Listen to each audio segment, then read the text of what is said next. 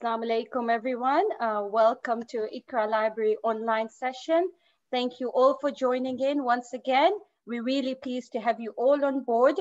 Uh, a little bit of a different topic than our usual well-being topic, but they're all relevant. And inshallah, in this journey of growth, we will all pick on something that we can benefit. So thank you once again for joining in. Um, just to give you a little bit of um, information, a bit of an update about Iqra Library. Uh, over the last seven, eight months, Alhamdulillah, Iqra Library has evolved. Uh, we have had various sessions on well-being, um, coaching, um, timekeeping, self-discipline, and also um, conscious parenting as well. Um, so we thank all of you for your support and thank um, the Almighty Allah for giving us this opportunity. And inshallah, we can all benefit wherever we are globally as well. Um, this online platform has been amazing. And as we say, the pandemic has got a silver lining and Alhamdulillah, we've all tried to uh, make the most of this pandemic as well in whatever ways we can. Uh, we thank all our beautiful speakers um, who have taken the time out, um, beautiful souls around the world. You've found them, um, you've attended the session and you've seen each of them are amazing. Um, they've been given a gift, alhamdulillah, by Allah, and they're using that gift to help the community, to help the, um, all of us globally in this self-development journey. So thank you to all of our beautiful speakers, all of you for your support as well. Um, just a little bit more information about the session uh, with Sister Sister Sukaina Thawer, which is today. Um, Sister Sukaina Thawer is an expert in conscious parenting. Uh, she will tell a little bit more information about herself, how she started this journey. Um, this is a third session that we've held with Sister Sukaina Thawer, and we thank her for her dedication and her time as well. Um, those of you that have missed the first two sessions, the first one was on um, connection over correction. Um, the second was the second one was about healing inner child wounds. So that was um, they're all really core topics um, that needs to be covered as well. And Sister Sukaina has covered them really beautifully. Uh, we do have the Iqra Library um, Google Drive where we have got all these sessions uh, by our beautiful speakers all recorded on there. Um, if you do want the, the details, I can pass that to you. We also have the Iqra Library YouTube channel. So please do go on there, subscribe to the Iqra Library YouTube channel, and you can get the updates when we load the videos on there. We will inshallah do that as well. We do have the Instagram page as well on Iqra Library, so please follow us on there and we will try and keep you updated um, as well as the Iqra Library WhatsApp group as well. So um, whatever you prefer, let me know or however way you want to keep in touch with Iqra Library, that would be really appreciated and we can share the different programs that we've got. Uh, we do have sessions for ladies ladies and men as well. Um, also, we do have sessions for children as well. Um, so if you would like to be added to the children's WhatsApp group, um, Iqra Library one, we can add you to that. Uh, we have got a session that we're starting for the youths as well as a trial. So we would like your support if you do have any youths um, within those age 12 plus as well. And we can um, give you an update on that session as well. So without taking any further time, I will pass on to the expert um, to cover today's topic, which we, we all believe, as myself as well, and all of you, that it is a very important topic. Um, and inshallah, Sister Sukaina will um, update us and give us a bit more information and help us with this journey of parenting. So thank you all, and I will pass on to Sister Sukaina.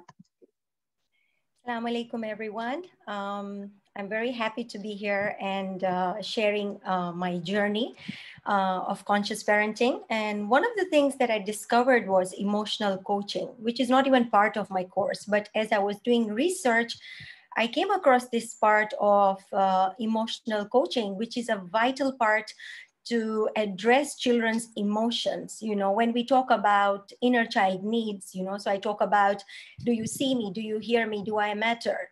And do you love me? So the important skill is emotional coaching. How you talk to your children really really matters.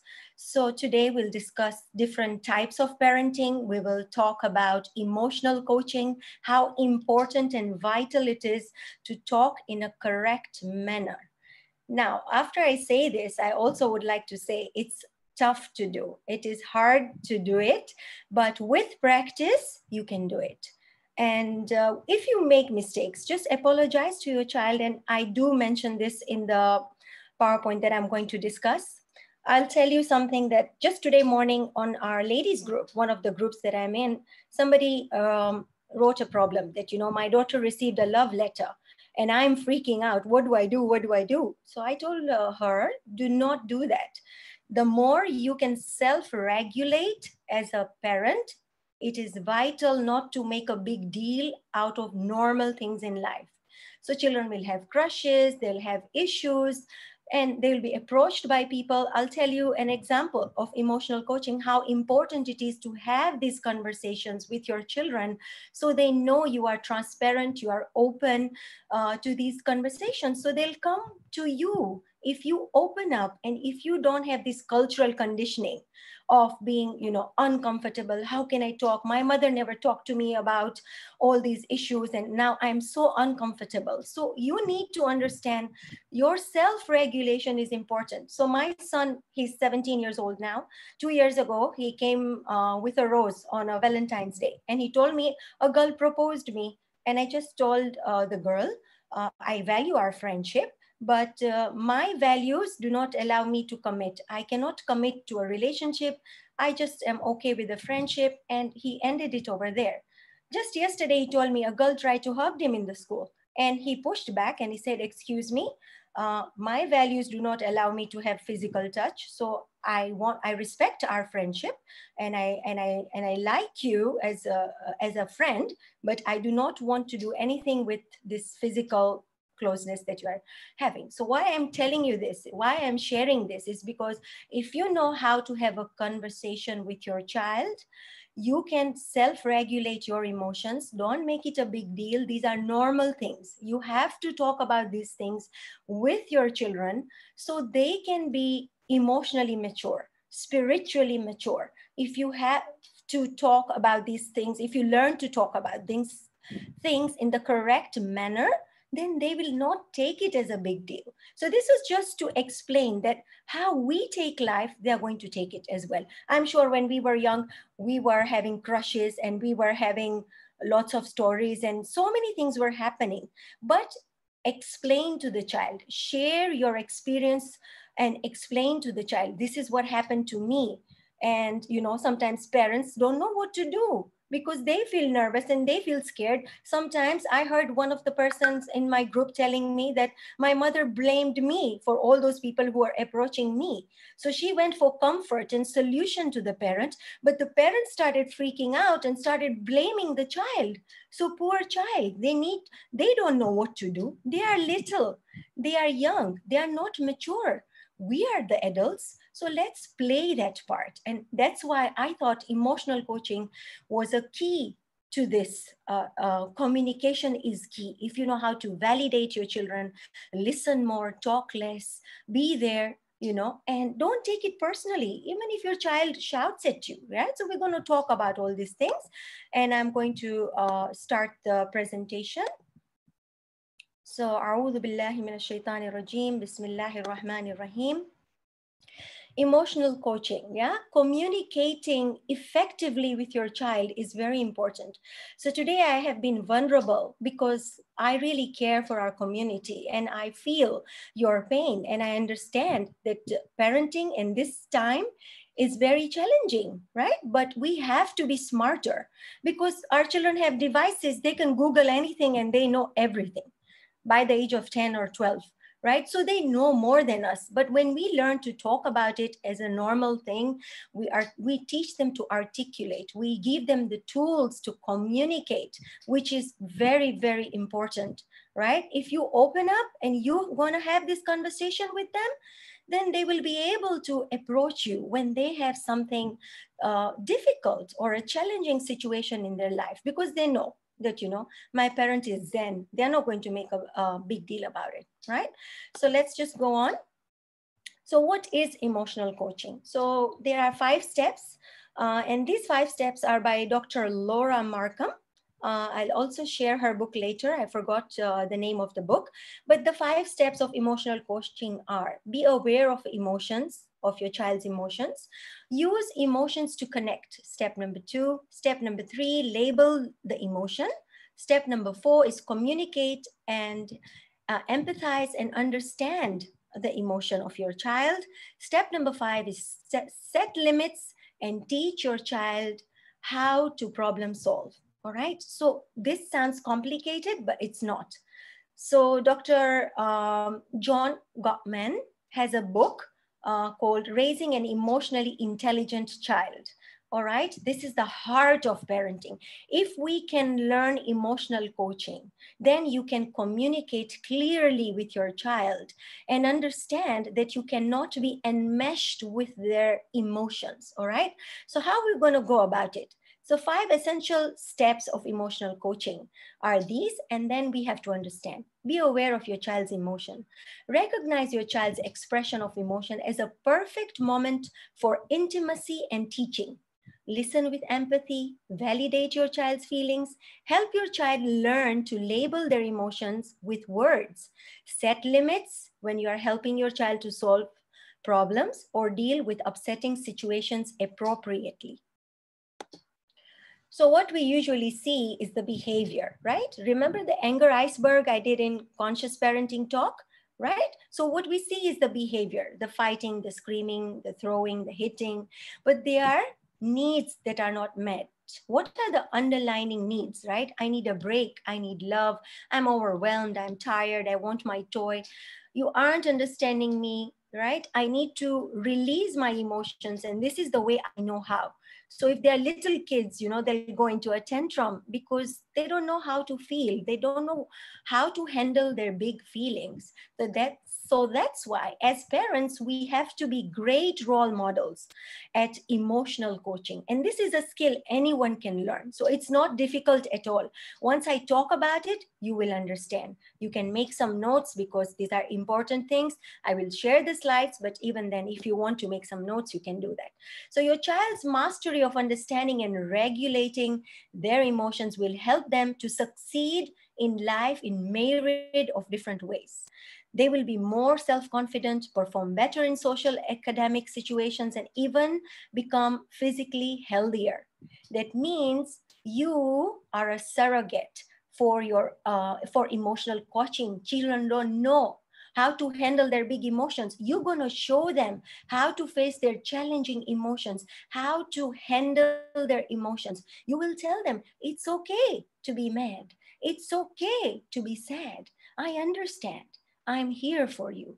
What do you need? How can I help you? Right? So be there, validate their emotions, don't dismiss them, don't tell them it's not a big deal because we see life differently for children, things can be larger than life. They're tiny, especially little, little kids, you know, five-year-old, four-year-old, 10-year-old, depending how they see life. Something might be very scary for a five-year-old, but as an adult, you don't see it as a scary thing. So we have to take that step of teaching them and helping them feel their feelings by not uh, you know dismissing it so put the steps, let's put the steps of emotional coaching and I'll show you how it's done. But it's very important because if you know how emotional coaching is done, then you will be raising emotionally intelligent children. And who doesn't want that? Because they will be able to self-regulate. They will be amazing, all right? So teach children to respect by treating them with respect. Show your child respect and understanding in moments when they feel misunderstood, upset, or frustrated. Talk through their feelings with them. Try to understand their source. Be aware of your child's responses to your method of working through the moment with them.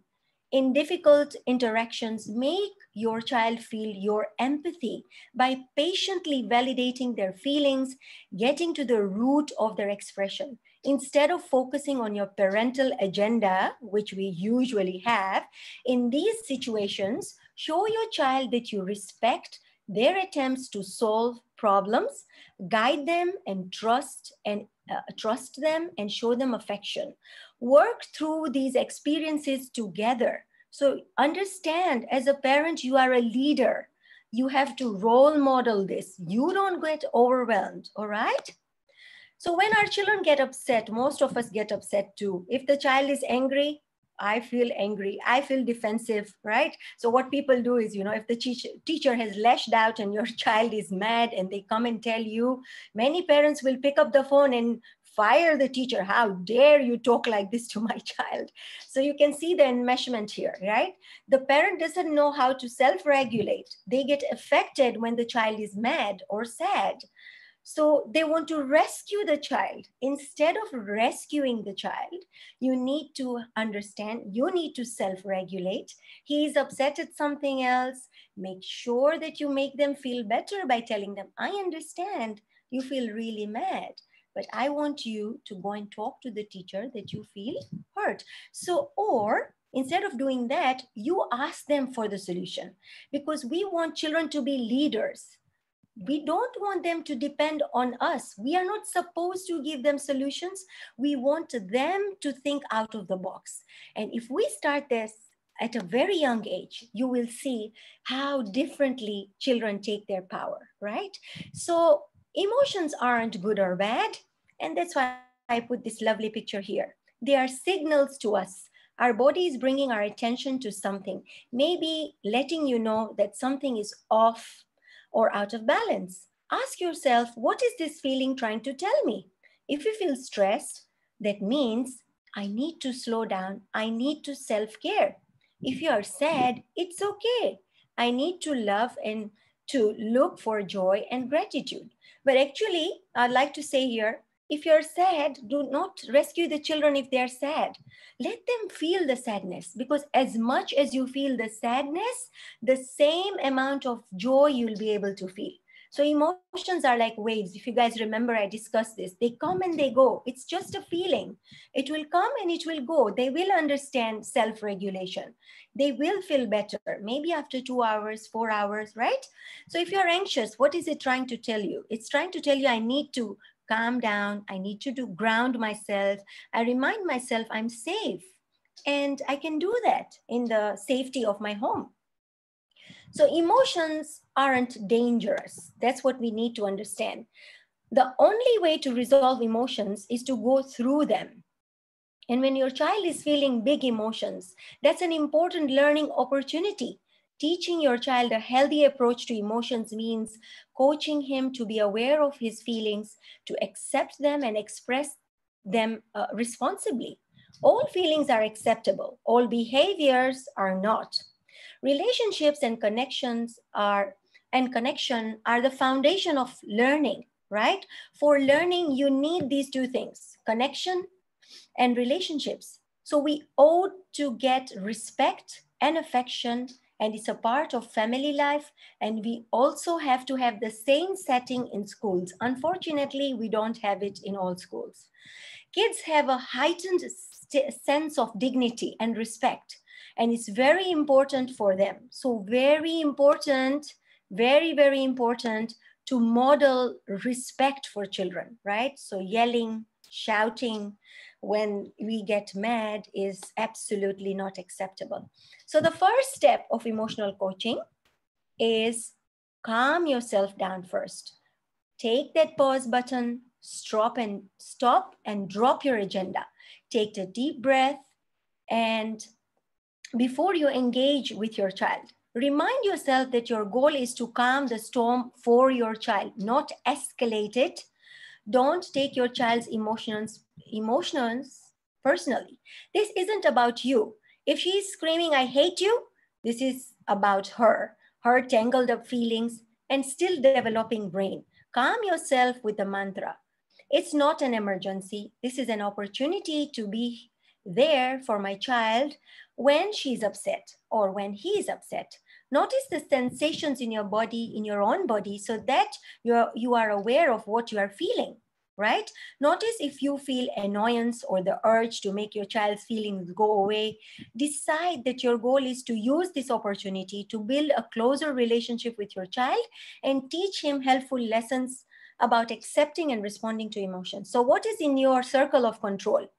Just your emotions, your behavior, not your child's behavior. So, don't take it personally. Connect to create safety. Your child needs to uh, let himself feel those big feelings instead of stuffing them down. That's how they'll begin to heal. Your job is to help him or her feel safe so he can let himself feel deeply, reach out to connect emotionally, and if you can, even physically, right? So create that safety space, touch your child, hug your child, hold their hand, and your tone of voice is important when your child is mad or sad how you're talking to them right? Give your child the verbal or non-verbal message i will help you. You are safe. You can do this. You can handle this. If you breathe slowly and deeply your child will usually begin to breathe slowly as well. So you see you are connected as a mother. So be careful how you are handling it Empathize, create safety by helping your child feel understood, match your child's tone.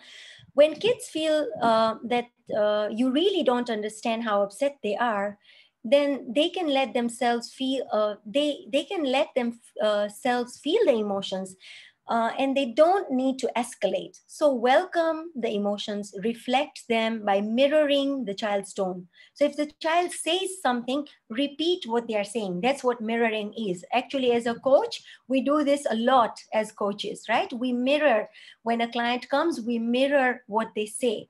So you seem a little worried about this sleepover, or you look so mad, reiterate. Uh, that means repeat, mirror. So they feel and uh, heard and understood.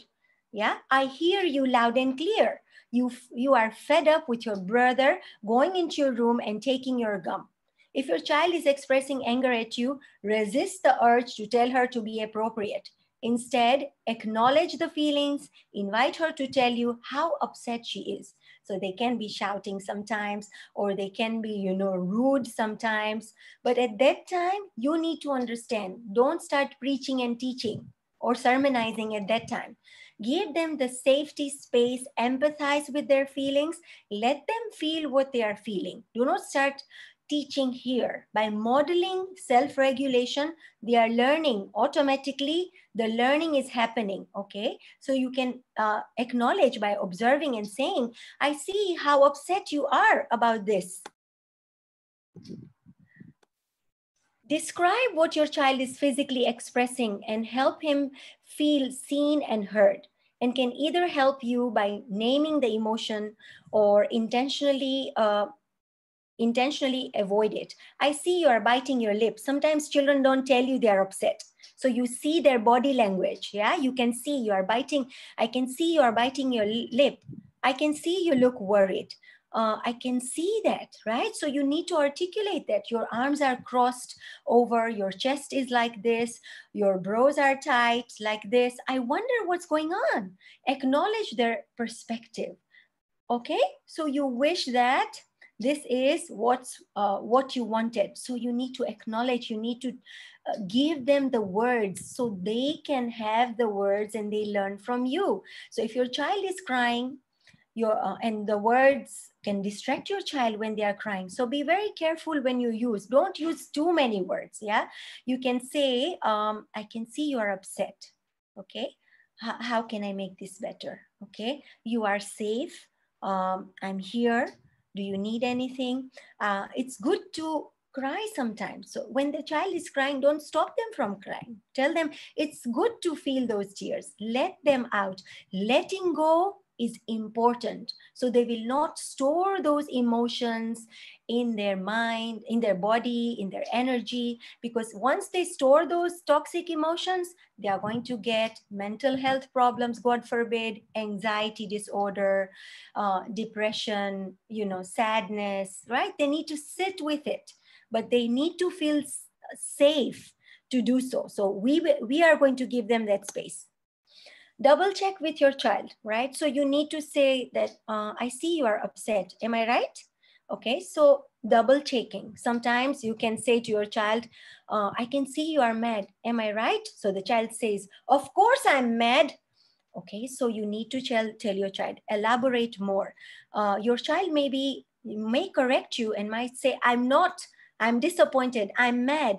And in that case, you try again if possible, use your child's exact words so they know you are listening. I'm sorry. Let's say you can say, I'm sorry, Fatima. I see now how mad you are. Tell me tell me more why so tell me more will really help sometimes we don't understand we just assume things right because we are not good at listening so when you tell the child tell me more that's a good idea they are going to articulate they are going to open the floodgates and start crying and tell you why they are mad sometimes it's to do with you and sometimes it's something else right or a child may correct you i'm not mad even though it's clear that you were accurate in your perception. And that's a signal that your child is feeling judged or analyzed and rather, um, rather than understood.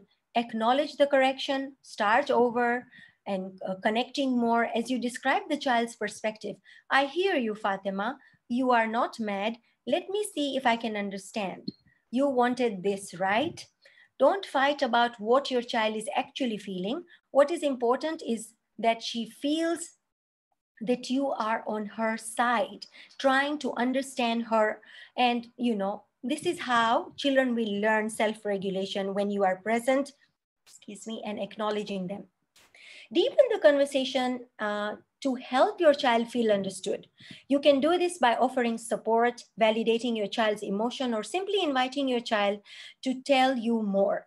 Validating doesn't mean necessarily that you agree with their opinion or their perspective, only that you understand why your child, uh, why your child would feel this way.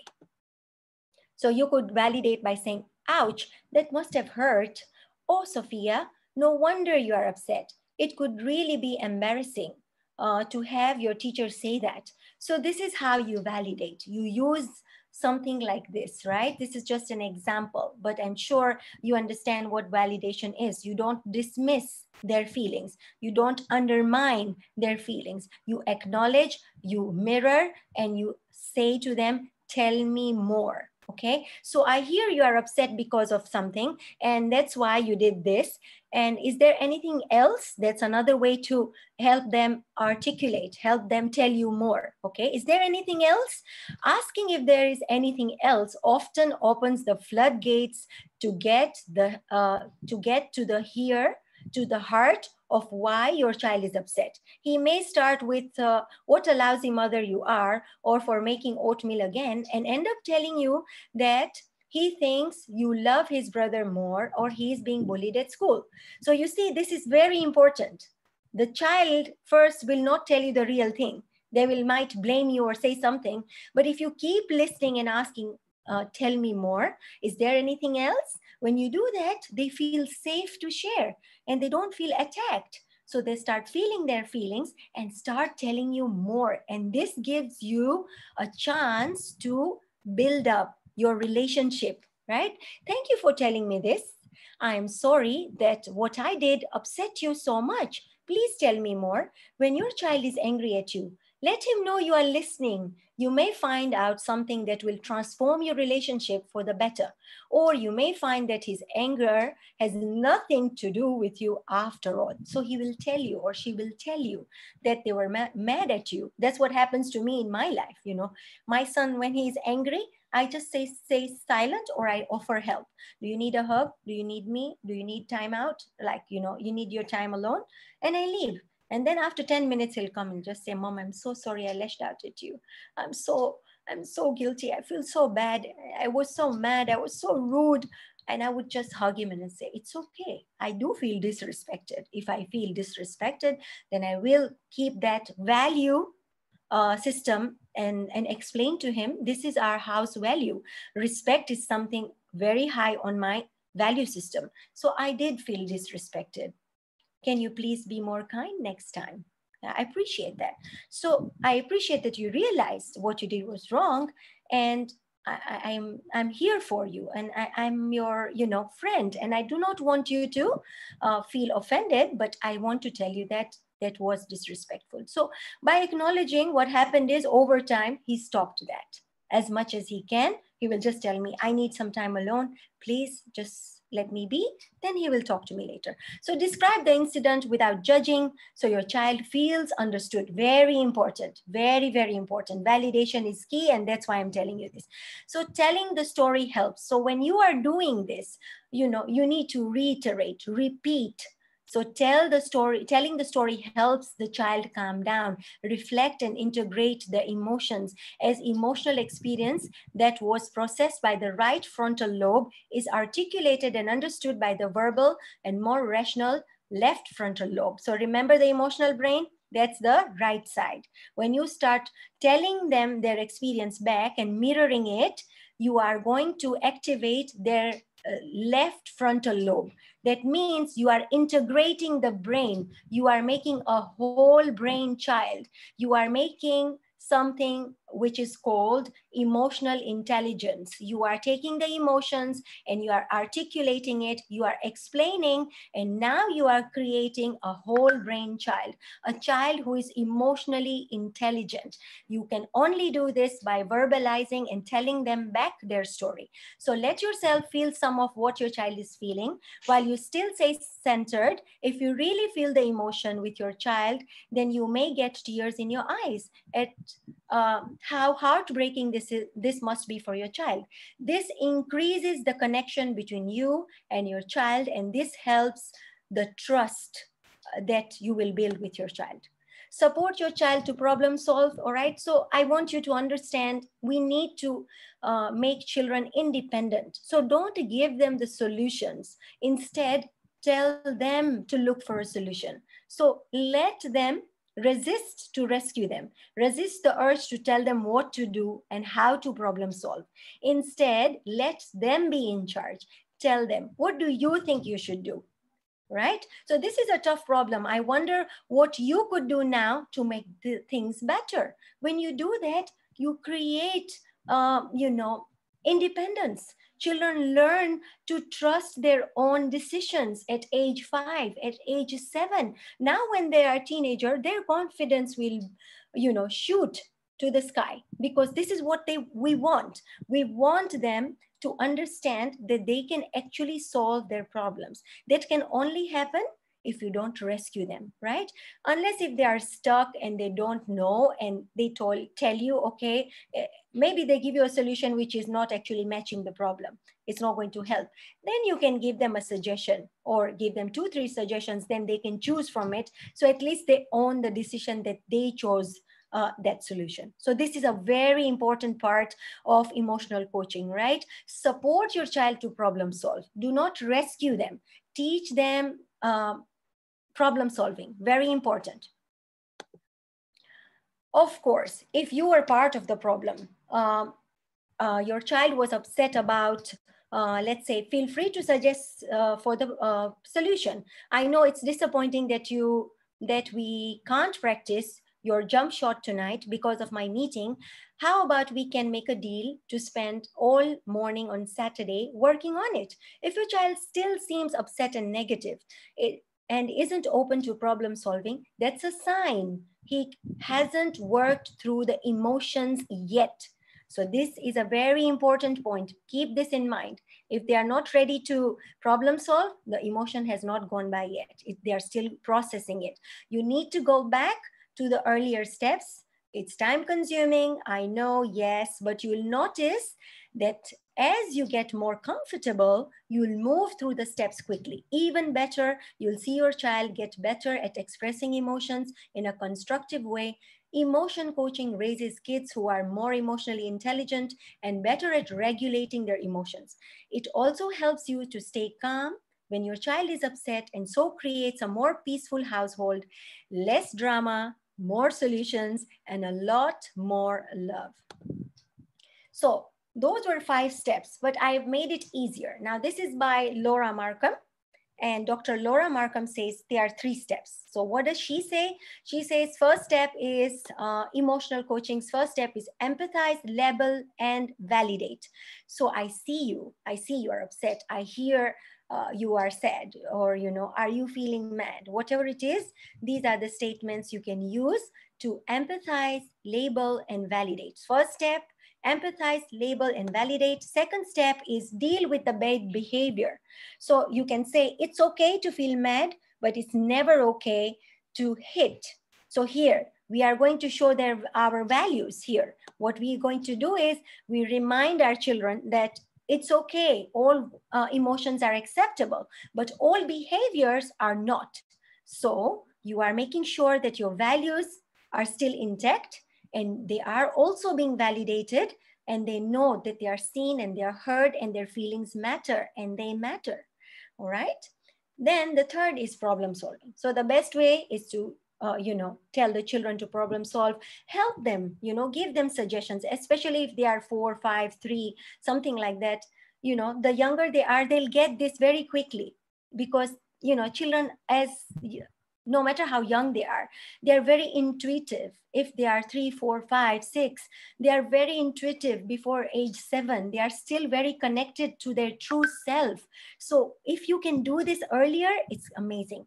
Even if you have not done it it's okay. No matter what age they are they will be uh, able to identify and, and be able to do this. So tell them what happened. Make use um, make make you what happened to make you feel this way? So help them problem solve. You can suggest or you can let them look for a solution. So i've taken this from a book called raising an emotionally intelligent child uh, by dr john gottman. And it's a very important story which i wanted to share. So one of the things he mentions in the book is be aware of children's emotions. David, David, a father um, in one of our parenting groups told how an incident with a seven-year-old daughter helped him understand the roots of her anger and showed him what she needed. So Carly had been in a dark mood all day. He explained, picking fights with four-year-old brother, taking offense at all sorts of imagined insults, including the classic, Jimmy's uh, looking at me again with every interaction. Carly cast Jimmy as the villain. Although Jimmy seemed to be doing nothing wrong, when David asked Carly why she was so angry at her easygoing sibling, his question elicited only silence and tears. The more he probed, the more defensive Carly became. At the end of the day, David went to Carly's room to help her get ready for bed. He found her pouting again. He opened the bureau to get her pajamas and found just one set clean, a tattered, outgrown pair with feet uh, in the bottom. Do you, do you think this will fit? He asked with a weak smile as he held them up for his daughter, lanky daughter, to see. David fetched a scissors and together, uh, and together the and cut the bottom of the pajamas. I can't believe how quickly you are growing up, he told her. You are getting such a big girl. Five minutes later, Carly joined the family in the kitchen for a bedtime snack.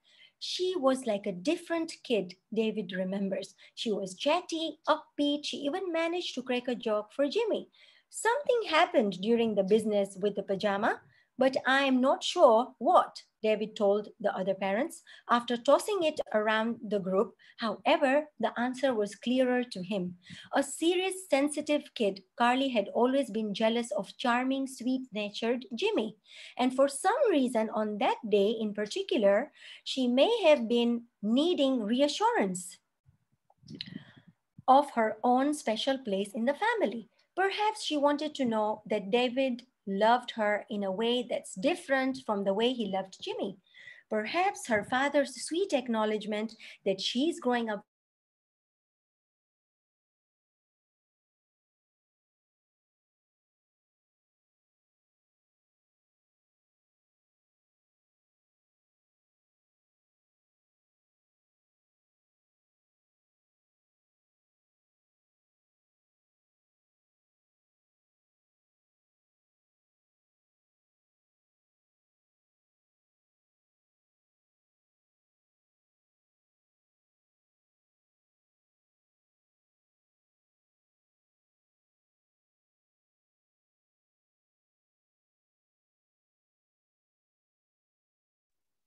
Kane, are you there?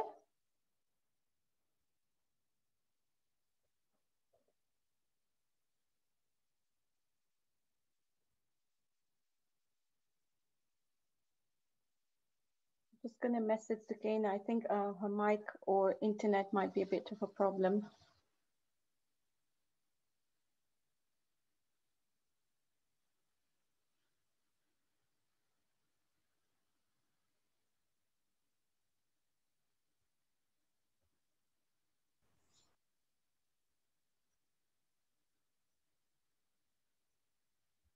Just bear with us a few minutes.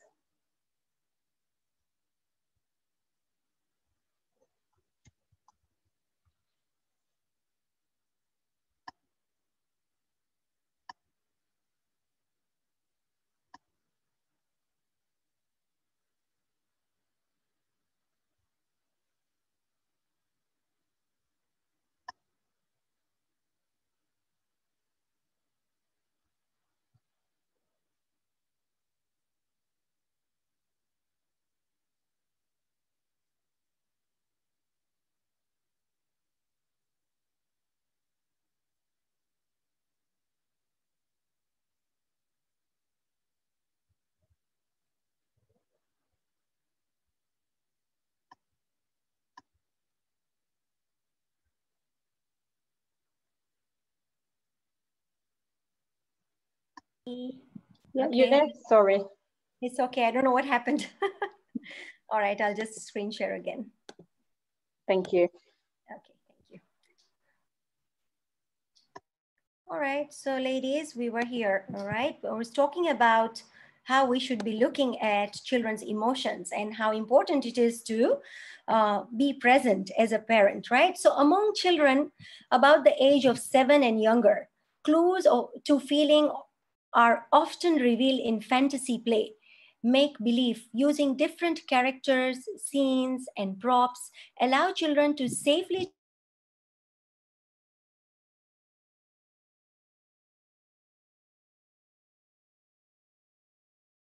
with toys. And she started talking about her feelings with her doll. And this is how he reiterates, you know, telling us in his book. So I have just written the story, and he says, I remember my own daughter, Moriah, at age four. Playing in the bathtub with the doll, she told me, Barbie is really scared when you get mad. It was her way of opening up an important conversation between us regarding what makes me angry, how my voice gets louder when I am angry, how that makes her feel. Grateful for the chance to talk it over, I assured Barbie and my daughter that I didn't mean to scare her, and just because I get angry sometimes doesn't mean that I don't love her.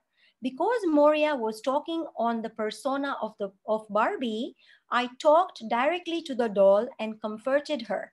This, I believe, made it easier for Moriah to continue talking about how she felt when I got angry. So now this is a very important point. When you have little kids under seven, maybe five, four, three, when they are doing role play or when they're playing with their toys, keep your ears open because they are going to talk about their feelings when they are doing these role plays, when they play with their doll, when they are in their imaginary world.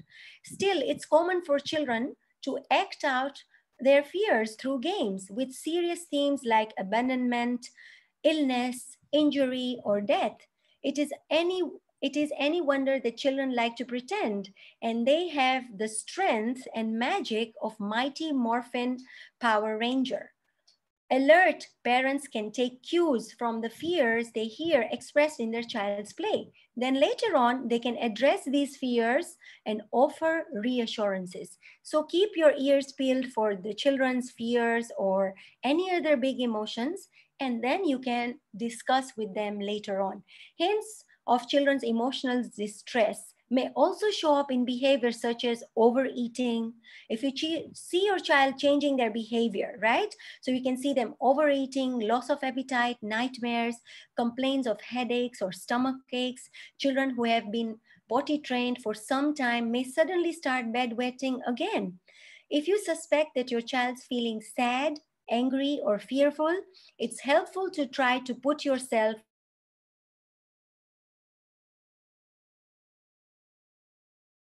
feel your when you feel your hearts go out to your child and you know uh, you are feeling what your child is feeling. You are experiencing empathy, which is the foundation of emotion coaching. You can stay with your child in this emotion, even though at times the feeling may be difficult or uncomfortable, you can take the next step, which is recognize the emotional moment, has a chance to build trust and offer guidance.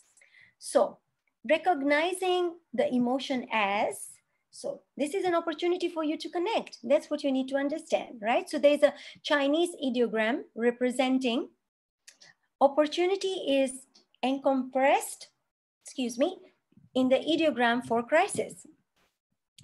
Nowhere in the linking of these two concepts is more apt than in our role as parents. Whether the crisis is a broken balloon, a failing math grade, or betrayal of a friend, such as negative experiences, can serve a superb opportunity to empathize, to build intimacy with your children, and to teach them ways to handle their feelings right? So I'll tell you, we do not teach our children uh, through cause and effect.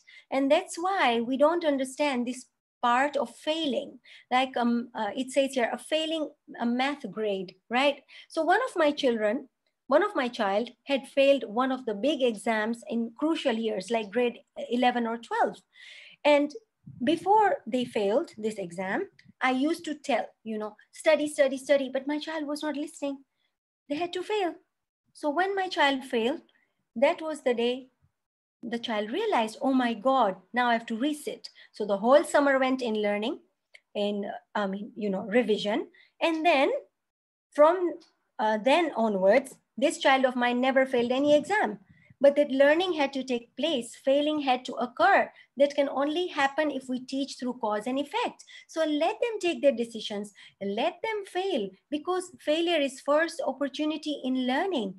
Let them feel bad or let them own their fa failures. It's not about feeling bad, but it's let them be in charge of their life. If they are going to uh, not going to study, they will fail and they will not feel good about it. But when they learn this lesson through cause and effect, we will never have to child to study again.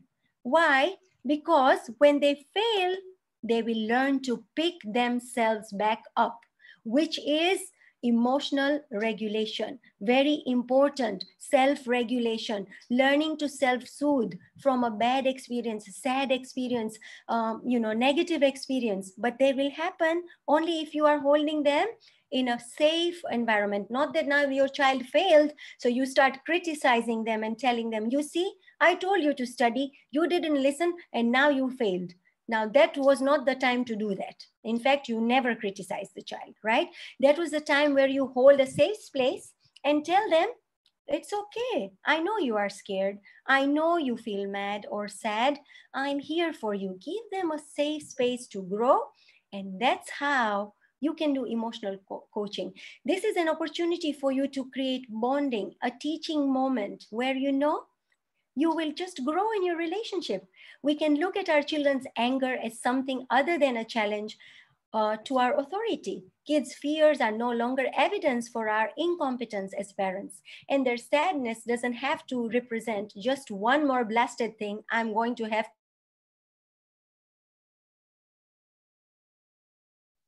offered by emotional. I think, Sukaina, the slide's frozen. The PowerPoint slide, I think, is frozen.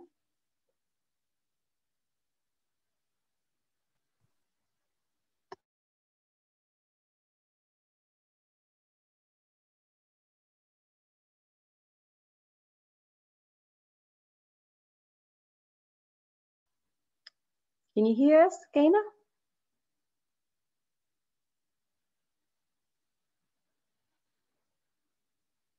Can you see the slide now? I think it's starting again as a screen sharing. I think it was frozen before. All right, okay. Thank you. All right. To reiterate an idea offered by emotion coaching, father in the studies said that a child needs this most, his parents the most when he is sad, angry, or afraid. So you see, uh, I, this is very important that when your children are sad, angry, or afraid, the ability to help soothe an upset child can be what makes us feel the most you know, feel most like parents. By acknowledging our children's emotions, we are helping them learn skills for soothing themselves, right? Skills that will serve them for a lifetime, right? So one of the things I discovered was that, uh, you know, I was watching a video by Neufeld and he said, how can you make parenting easy? The only way you can make parenting easy, he shares here, is not the love of parent for the child. The key is for the ease of parenting is the love of the child for the parent. So when the child feels understood and validated, it increases their connection and love for the parent, which has the biggest impact on the child following their parents' guidelines and leadership. So again, emotional coaching. What does this mean? They don't object. If you're an emotional coach for your child, they don't object to the ch their child's displays of anger, sadness, or fear nor do they ignore them. Instead, they accept negative emotions as a fact of life and they use emotional moments as opportunities for teaching their kids important life lessons and building closer relationships with them. So this is an opportunity for you to be there for your children, okay? So they can understand these negative emotions are here for you to actually help them, okay? Sorry, we can't see any slide. It's blank completely. Really? Okay, just a second. I'll, I'll do it again. I'll just share again. I don't know why this is happening. Can you guys? It's still black. Oh yeah, it started. Yeah. So you maybe All right, fine. Okay. So while some try to negative in the whole will go away, emotions rarely work that way. Instead, negative feelings when children can talk about their emotions, label them, feel understood, may, it makes sense, therefore, to acknowledge low levels of emotions early on before they escalate into full-blown crisis. Very, very important, right? Let's say your five-year-old is very nervous to go to the dentist. Okay? To a day before, um, you go to the dentist. Otherwise, you'll have a chair so if you have a 12 year old and they feel envious about their friend uh, position in the baseball team, it's better to help them talk over with their feelings. So you can help them self-regulate at that and let down over as a row uh, on the field. And then the the boys will be fighting because he's going to be my aggression due to being envious when levels of emotion, this is for you. This is a tip for you. Make sure children by self-regulating them. You, you help them self-regulate. You are the surrogate. You are going to help them. Address it also gives families to problem solving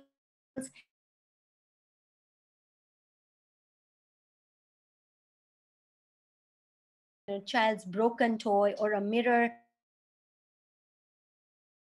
box. You learns that you are his ally and the two of you figure out how to collaborate. And then if big crises happen, um,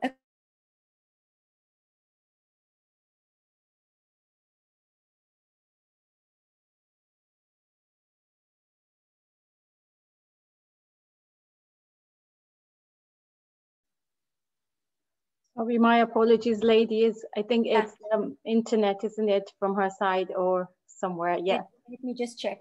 Let me just check. I'm still connected to my stuff, right? My internet. Yes. It's okay. Yeah, it just keeps breaking up, but I think um, that's probably the internet, isn't it? Yeah. Okay, let fine, me just yeah. open the door. Maybe that will help. Yeah, just a second. Thank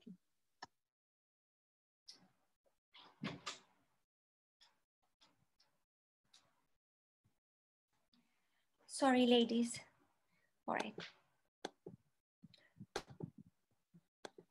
Can you see the slides now? Yes, we can see, yeah. All right, so empathic listeners use their eyes to watch for physical evidence for their children's emotions. They use imaginations to see the situation from the child's perspective. So very important with emotional coaching is you don't make a big deal out of what your child is going through, even if it is a big deal for you. Secondly, and if you find it something that's not a big deal, even then you cannot dismiss it, right?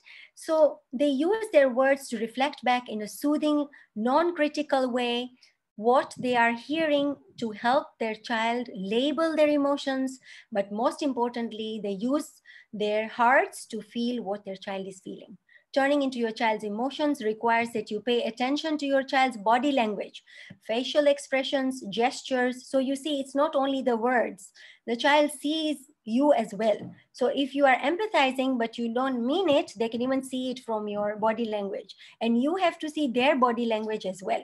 If they're not expressing, then see their facial expressions, see their body language. Uh, so this is being more intuitive, you know, more um, tuned in. Surely we, you have been uh, you have seen the furrowed brow, the tense jaw, or the tapping foot before.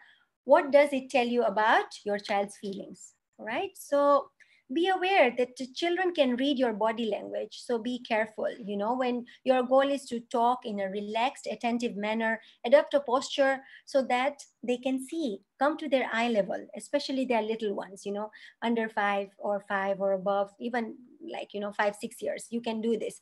You have to come to their eye level and, um, you know, breathe in a slow manner, deep breaths, relax, focus, listen attentively to your child, and show concern, even if it is a little thing, because this is how emotional coaching is done. You are present and you are available, ready to listen, not dismiss. Okay. As your child reveals his feelings, reflect back what you hear. So name and notice. Okay, this is this is important. Notice their feelings, label them, teach them. This will assure your child that you are listening carefully and that you think his feelings are valid. Here is an example, okay? Uh, when a birthday package arrived in mail for Nikki, his four-year-old brother Kyle reacts with anger. That's not fair, Kyle protests. Typically, the boy's dad responds by explaining that in time, it will be fair. When your birthday comes and grandma will probably send you a package too, Dad says. While this statement certainly explains the logic uh, of the situation, it flatly denies Kyle his feelings. Now, on top of the feelings, he is jealous about the package. So Kyle probably feels angry, understandable position, right? He's unavailable for his son and he's dismissing his feelings as well. Imagine how differently Kyle might feel if his dad were to respond to his outburst with a simple observation. You wish grandma had sent you a package too. I bet that makes you kinda jealous. Yeah, that's right, Kyle might think. Even though it's Nikki's birthday, I'm supposed to be cool about this. I feel jealous. Dad understands. Now, Kyle is uh, in a better spot to, to hear his dad's explanation. And that and these things uh, even out in time. He will understand if you validate, okay, I understand you feel sad and you feel mad and you feel a little bit jealous. So you need to acknowledge that. And the other thing you can do is sharing examples from your own life. So you can tell them, right? You know, when I was little, I felt jealous when my sister got a present and I didn't. But then everything was okay. When my birthday came, even I received a present. So I know you feel mad and sad or jealous, right? I understand how you feel. Um, however, when your birthday comes, grandma will give you a present as well. So you need to relate to the child by giving your experiences, sharing your point of view, so the child feels understood. Oh, my dad used to feel the same thing. Emotional coaching is to help children label their emotions as they are having them. Uh, in the above jealousy, we, we can define a lot of problems. Again, it's showing unstable. All right.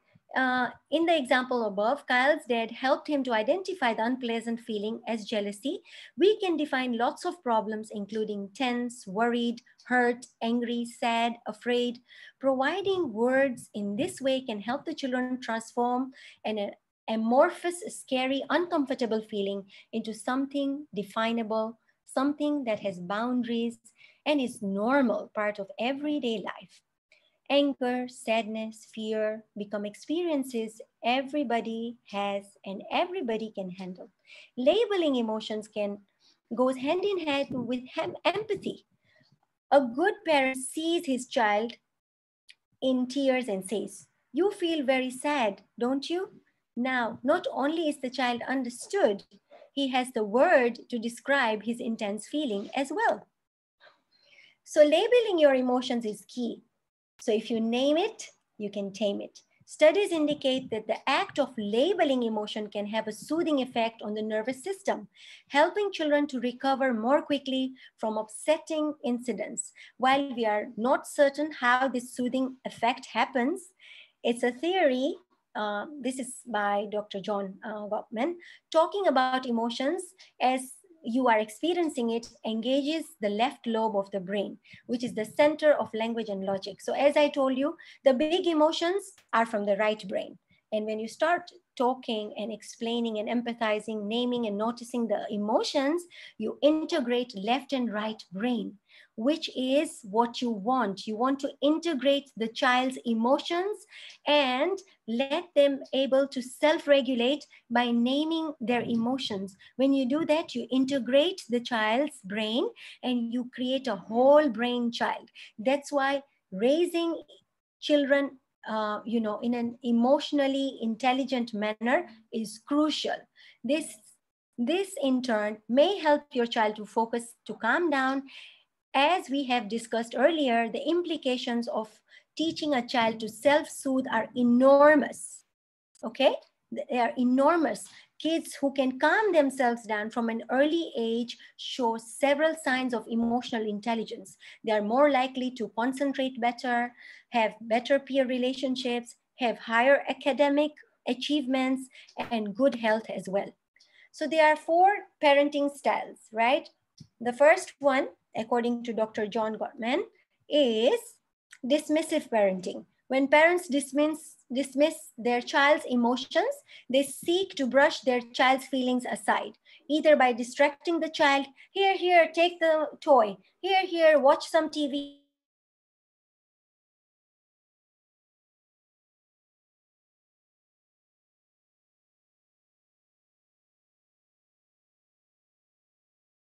child or ice cream. So whenever now the child is sad, this is what they have learned from you, that when you are sad, go have a cookie. When you are mad, go and have ice cream. Because this is what they learned, right? The parent did this. How it impacts the child, the child feels as though their feelings are not valid, should not be trusted.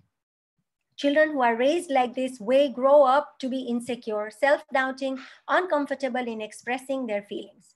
So that's why it's important to do it properly.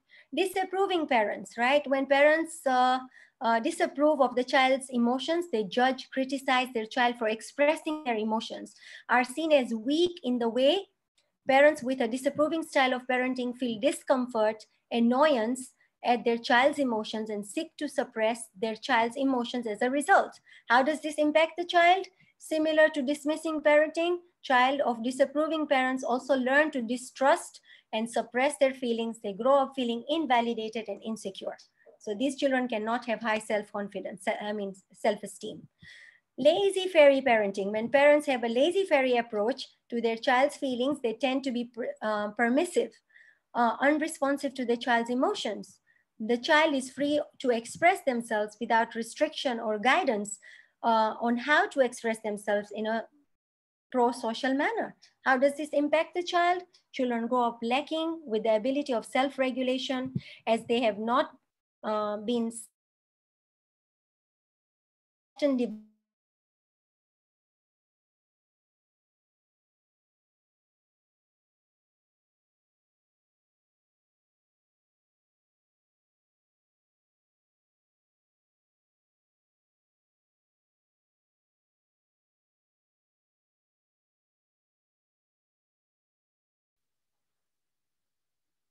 Please bear with us. I think um, and parents yeah. coach they that's fine. I think it's just um yeah, it's just the internet. I think, Sukaina.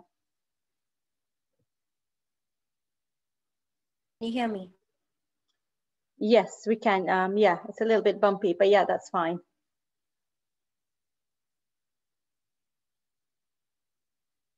I don't think we can hear you anymore.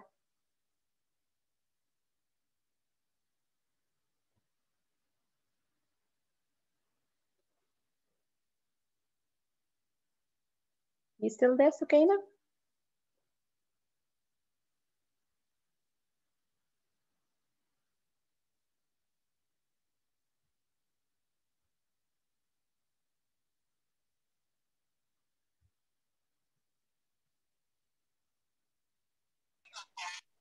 Sorry, my apologies. Um, I think it's just her internet. I'm just gonna message her again, um, just to join in again.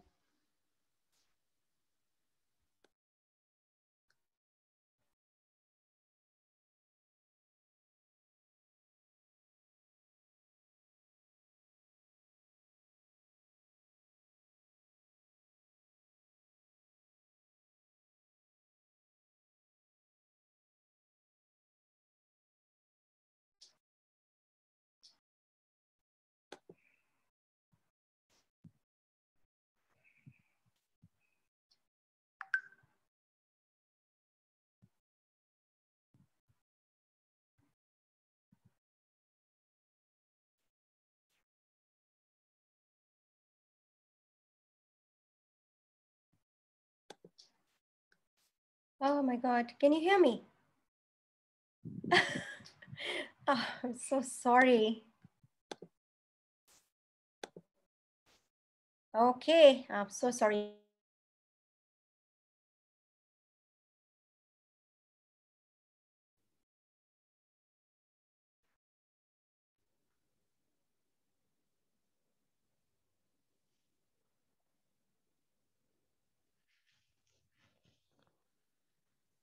Are you there to continue?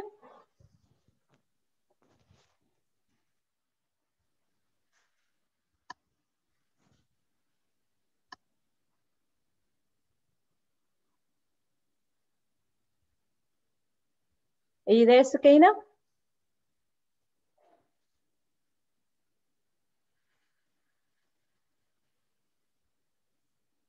Um, can you hear us, Sukaina?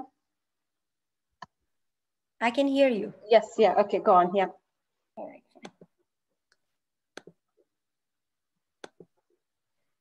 All right, so I was talking about emotional coaching. How does it impact your child? Emotion coaching gives children EQ, advantage, right? Children become comfortable, um, experience their feelings, learn healthy forms of self-expression, can problem solve. This makes them better at reading other people's emotions, which in turn has a positive effect on relationships with their peers, family, teachers.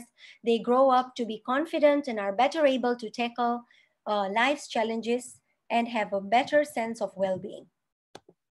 So there are four types of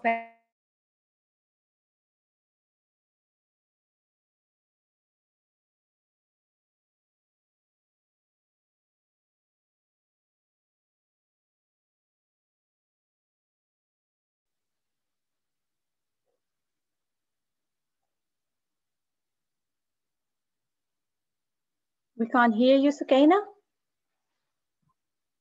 This and, and it is this behavior which usually leads to an exclusion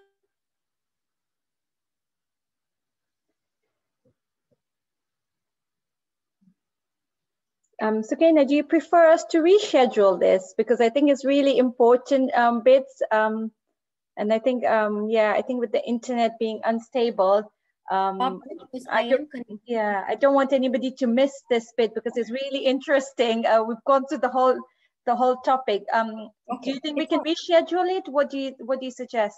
Sure, I'm okay with it. Just that the ladies are still online, so I feel I'm obligated to finish it let me let me ask them what they want to do because I think it is really important. And if they want to absorb what you've said so far, um, um, and you know digest it into little chunks, um, are you guys ladies want to continue or do you want to give it another shot? Okay. Somebody said reschedule on the chat. In the they are answering in the chat. Okay, now maybe if you turn off your video and, and just share screen, uh, because right now it's going fine. We can hear you straight. All right, fine. Let me do that. Okay. Yeah. I'll stop the video. Let's give it one more try. Inshallah. Let's recite a salawat. Allahumma salli ala Muhammadin wa ali Muhammad. Yeah. Let's see. All right, then you keep me posted, right? Uh, Muhadisa, if, I mean, Musarat, if you want me to stop, right? Yes, yeah, that's fine. Let, yeah. Let's just try, okay? Helping our children to stay calm and do not and not flip their lid reduces the risk of serious behavior. And it is uh, this behavior which usually leads to an exclusion in school. When children are angry, their thinking brain isn't connected to their downstairs stairs brain. And so they are really, they aren't able to listen to you and reason with you and follow your instructions. So we need to help them put their lid back on first. Then we can talk to them about their behavior. So as you guys remember from the first talk I did, I talked about the brain, right? The upstairs brain, the prefrontal cortex, it's still not developed in the little ones. In fact, it develops till, it's, it finishes developing by age 22. So neo, neocortex, yeah, controls language, logic, problem solving choices, right? And the limbic brain, which controls the feelings and attachments, memories, uh, is the emotional brain where we feel our anger. See, that's where we feel our anger, and this is our rational brain. So when we do emotional coaching and we start naming and noticing the emo emotions and labeling it for the child, what happens is we integrate this part, right? So we, we they have flipped their lid and this is out, so they can't reason with you. But as you start naming and noticing and labeling the um, uh, what do you say emotions, mirroring it for them, reiterating and repeating what they are feeling, what happens is they start calming down and they go into rational brain. Then what happens is now they can communicate, right? So it's important to understand this. Just as a traumatic experience can alter a life in an instant, so too can a th therapeutic encounter, all right? So you need to understand emotional coaching is like therapy. Being present for your child is so important. If there is any damage done during the parenting process, which I just discussed, uh, different kinds of parenting, then emotional coaching is like therapy. It will really help the child feel their feelings, be emotionally intelligent. If we focus uh, on knowing our children using emotions um, coaching rather than adult control behaviors, it asks us you, it asks you to reflect as a parent uh, on four key areas. So this is by Dan Siegel, right? He talks about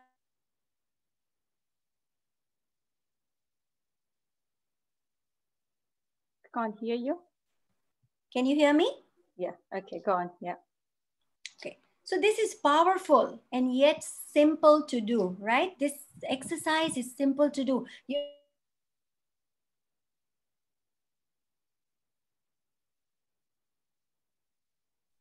Can't hear again. No.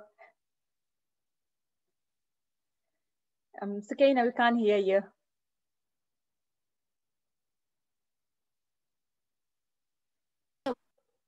I mean, yeah.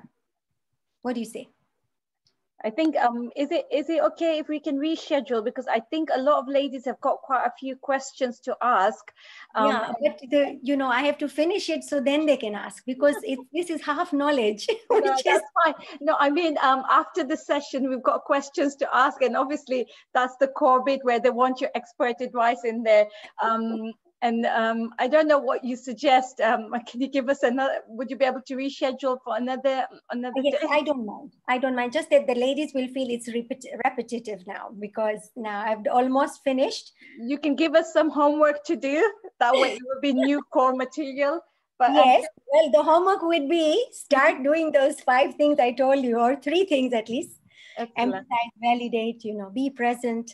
Um, don't be angry that's Yeah. all I would say. You know, don't, don't lose it when your children say to you, I hate you. or they say, you, you are a mean mom. Hold that boundary with calmness.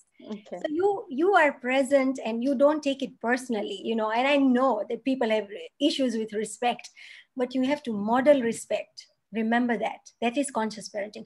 Model respect to get respect. So at that time, don't go into the uh, you know lecture mode. That is just going to ruin your relationship yeah? So it's okay we can reschedule. Maybe you can uh, tell me when again.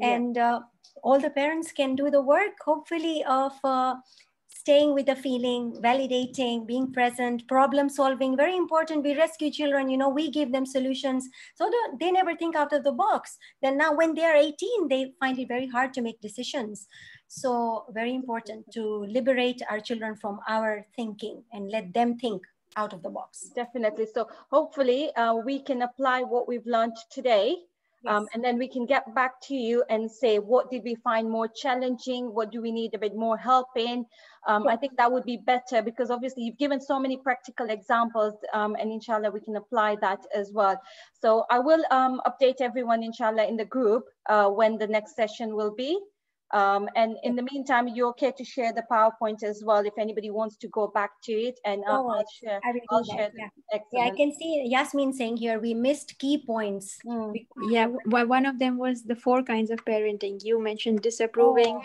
yeah. um, dismissive, and then yeah, the lazy yeah. and then we missed the fourth one. We were waiting for it. So if you want okay, to shed a little light on coaching. it. So actually, what happened was the fourth one is the emotional coaching, right?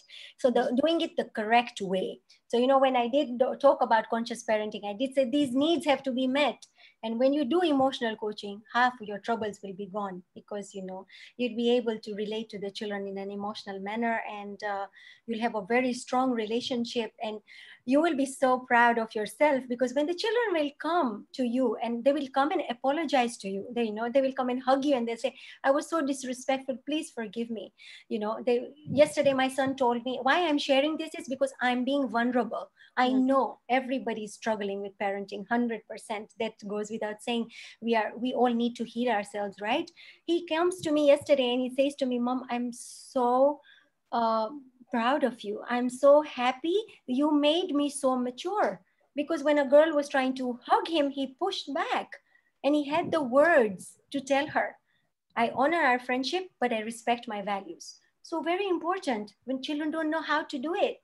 And we need to explain to them by not making it a big deal, right? Don't make it a big deal. And because with teenagers, things will happen. You'll have to have those difficult talks. You'll have to talk about sex. At what age are you going to talk and how are you going to talk? I don't remember our parents talking about these things. And now it's not only about sex, it's about many other things, right? So inshallah, we'll have another talk about how to have that talk with your child and what is age appropriate. How are you going to do this? So this is uh, all important, right? So on that note, thank you ladies for attending. I really appreciate your time and I'm so sorry but uh, these are the challenges of uh, having a technical difficulty. Okay. Thank you so much. Um, I think next week is half-term holidays, so maybe we can leave next week, and this is a good time uh, for parents to practice these techniques as well because we've got a bit more hands in our um, time in our hands as well during half-term. I don't know whether that's a positive or negative way, but um, we will have more time with our kids next week, so a lot of time to practice our techniques, and hopefully the week after we'll probably all be experts and um, something to share with each other as well. Um, so I'd, love, I'd love feedback. I'd love to know how it went yeah. because mind you, you will feel it. You'll feel angry when your child is angry. So self-regulation is a, is a skill to learn. Nothing that you can't do. Just make sure you have mantras, you know, some sort of zikr that mm. you are we can even do a talk on anger transformed which i did last uh, a few days ago for dubai people so these are other skills that you know you can acquire and you can do this. It's so easy. I'm sure you can. You have the power. Um, you know when um, I think it will be a bit of a challenge, especially when you've got if you've got siblings as well, and you're trying to work with one. Um, obviously relating to their feelings and then you've got the other two um, obviously if they're older as well and they're thinking what's happened to mom right yeah so that's again another talk sibling rivalry uh, there you go. We won't let you leave so soon. So inshallah, we'll have more sessions with Iqra Library with Sister Sukaina. You can see she's passionate. She's keen to, um, you know, help us all out. And inshallah, with uh, we'll go through this together. So thank you so much to everyone for your patience. Uh, apologies on the internet side, but hey, uh, we get to see you all again next time. Um, so thank you, everyone. Thank you so much, Sukaina. Um, if you can share the PowerPoint with me and I'll share it in the Iqra Library WhatsApp group and we'll share the recording as well. So thank you, everyone. Enjoy your day. Kudafis. Kudafis.